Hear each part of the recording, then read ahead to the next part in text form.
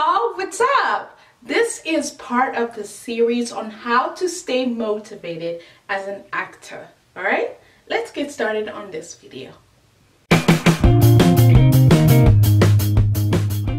Another way to stay motivated as an actor is to watch roles or characters you wish to play.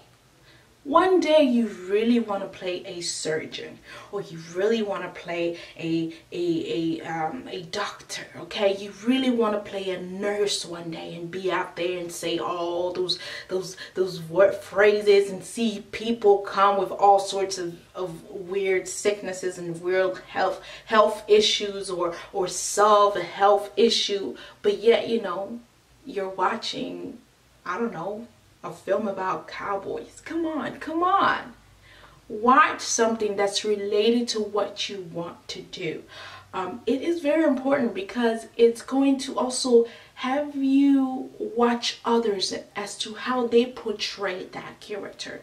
And maybe also from that you're able to see how would you do it?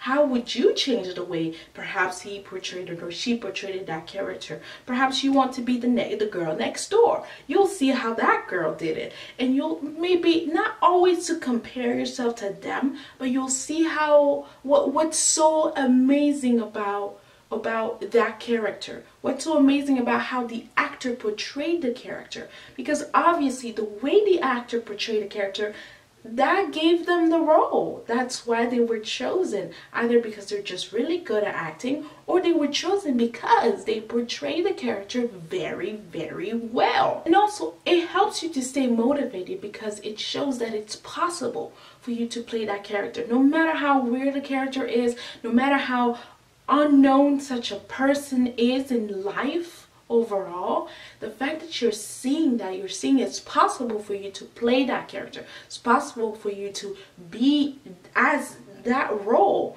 in a movie, in a feature film, a short film, or a television show, or a game show, you're able to see that and see, oh, it's a possibility. And you enjoy also watching that character because you want to portray that character. You want to showcase that character. You want to tell the story. You want to tell the story of that character. And also it helps you to see how someone else has told the story. And from there you're able also to learn.